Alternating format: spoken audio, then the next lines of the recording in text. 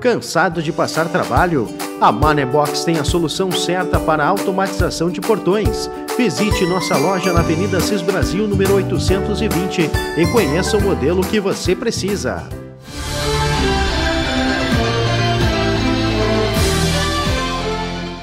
Confira agora as principais notícias do Brasil e do mundo na Lagoa TV. O presidente Michel Temer anunciou na terça-feira, 8 de agosto, que o governo vai distribuir 7 bilhões de reais na divisão do lucro do Fundo de Garantia por Tempo de Serviço.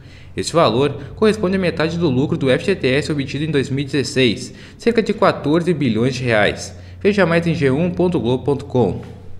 O índice de preço ao consumidor amplo, IPCA, ficou em 0,24% no mês de julho em relação a junho, segundo dados divulgados nesta quarta-feira, 9 de agosto, pelo Instituto Brasileiro de Geografia e Estatística, IBGE. Este foi o menor resultado para julho desde 2014, quando o índice ficou em 0,01%.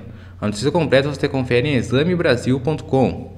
A Organização das Nações Unidas estima que cerca de 5 mil pessoas foram presas na Venezuela desde abril quando as manifestações contra o presidente Nicolás Maduro passaram a ser diárias.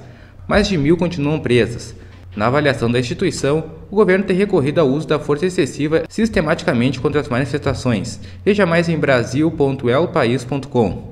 Essas e outras notícias você confere no nosso site www.lagoatv.com.